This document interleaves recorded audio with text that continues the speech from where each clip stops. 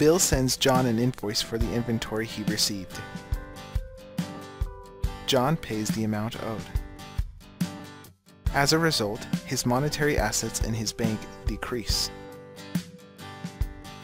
Because John paid for the inventory, his accounts payable, or who he owes, decreases as well.